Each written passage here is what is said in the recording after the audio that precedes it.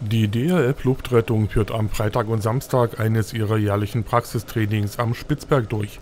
Hierbei proben die Luftretter des Christoph 62 den Ernstfall. Ein solcher Rettungseinsatz erfordert Teamarbeit mit höchster Präzision. Mit dabei sind die Luftretter der Bergwachten der Sächsischen Schweiz und des Zittauer Gebirges, von denen jeweils eine Person bei einem Windeneinsatz zusätzlich mit an Bord genommen wird. Trainiert wird zwischen 9 und 18 Uhr rund um Seipennersdorf und dem Spitzberg. Alle Anwohner und interessierten Bürger sind eingeladen, bei dem Trainingseinsatz dabei zu sein